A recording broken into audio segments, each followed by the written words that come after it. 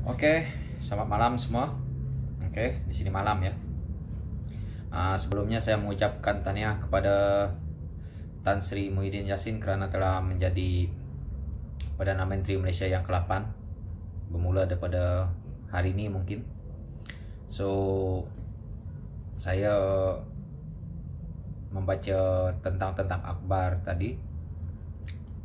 Uh, apa yang mengherankan saya Ah, kenapa orang PKR ataupun orang amanah ataupun orang dari uh, pakatan uh, harapan sendiri uh, komponennya ataupun di EPI tidak menyokong uh, Tan Sri Muhyiddin Yassin ini tadi.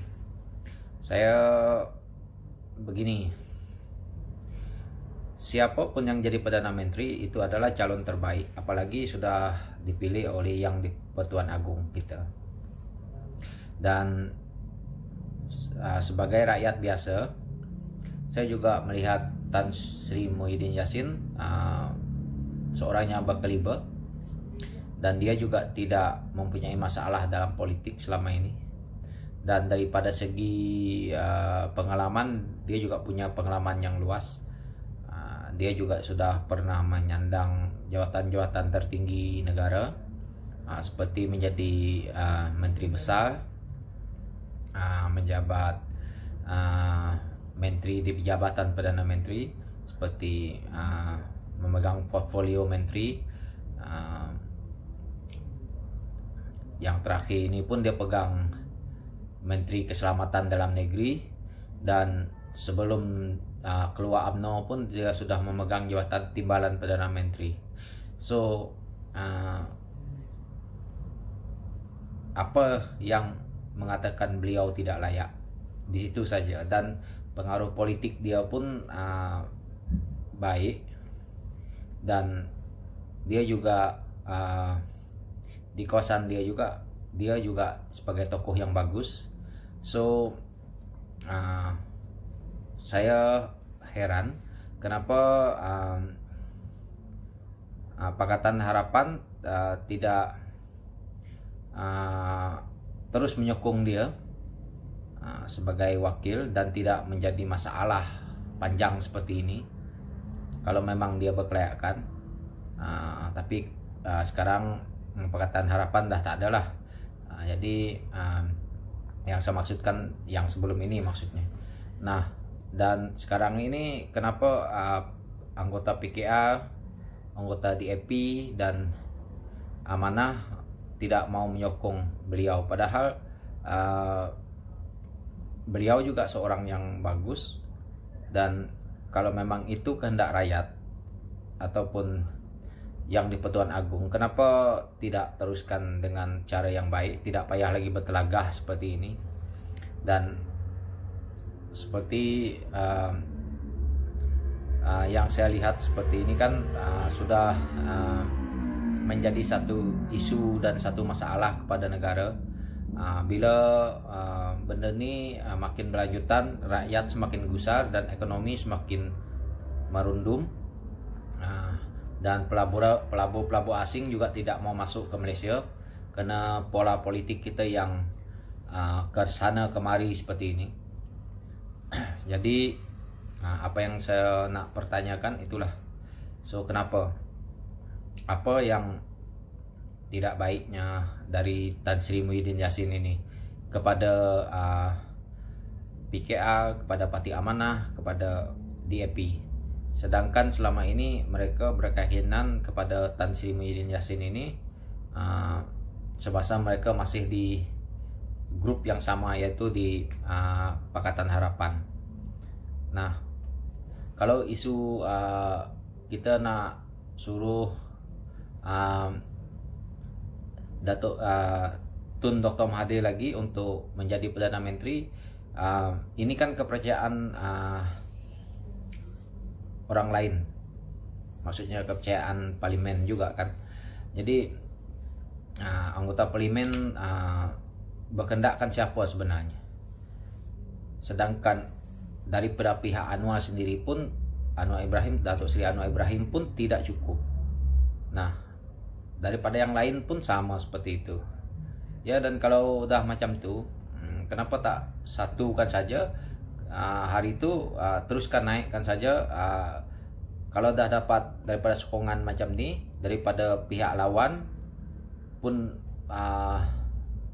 lebih suka kepada uh, Tan Sri Muhyiddin Yassin kenapa tidak diteruskan sahaja macam tu hmm, kenapa nak bertelagah lagi panjang-panjang?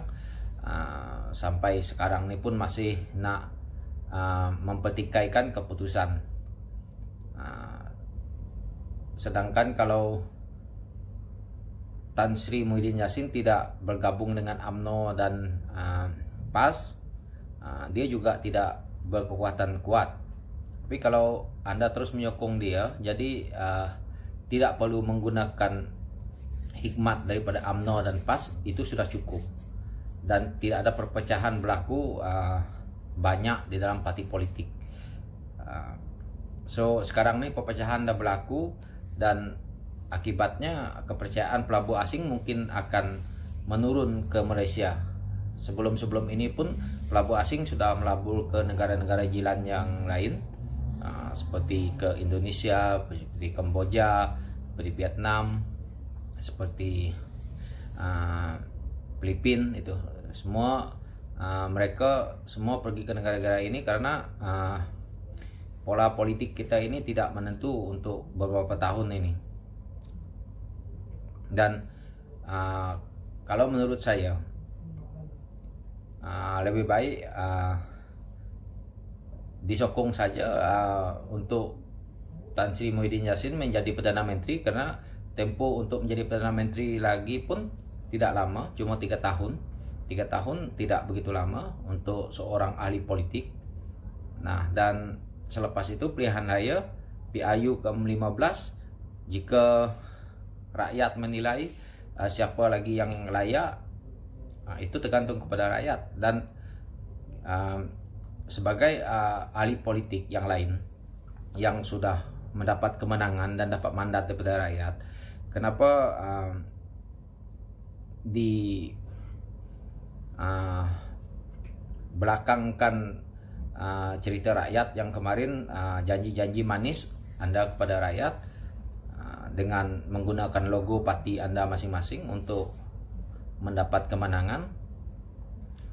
Uh, sekarang Anda sudah menang tapi uh, tidak memenuhi janji itu, malah uh, ada yang lompat parti, ada yang begitu begini, ada yang uh, ya sudah melihat kuasa itu sepertinya tidak lagi uh, memikirkan rakyat yang ada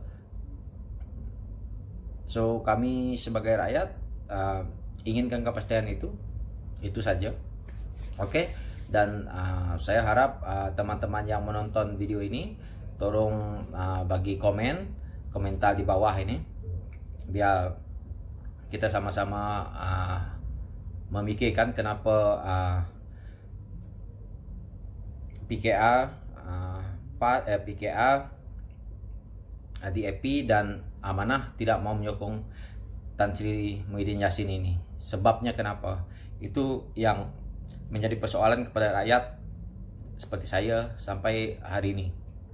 Ah, saya harap teman-teman yang lebih bijak di luar sana yang dapat menceritakan ke saya ah, apa itu boleh komen di bawah. So saya dapat melihat komen itu dan saya boleh berpikir, oh ini sebabnya. Oke. Okay? So sekian dari saya. Um, saya harap teman-teman di luar sana dan saya berharap ahli-ahli politik Malaysia uh,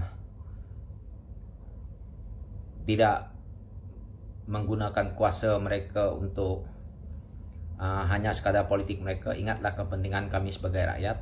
Oke, sekian dari saya. Terima kasih. So, bye bye.